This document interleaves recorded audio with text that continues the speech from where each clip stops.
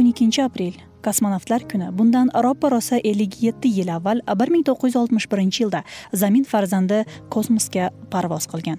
O'zining atigi bir yuz sakkiz daqiqalik parvozi ila jamiki bashariyatning asrlar osha davom etgan orzusi nihoyat ushalgan.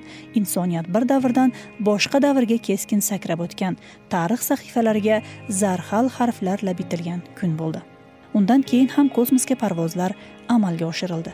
Ilk samoga bo'lgan sayohatdan so'ng oradan o'ttiz yetti yil o'tib bir ming to'qqiz yuz to'qson sakkizinchi yil yigirma ikkinchi yanvar kuni qirg'izistonda tug'ilgan o'zbek o'g'loni rossiya fuqarosi solijon sharipov aqshdan samoga parvoz qildi.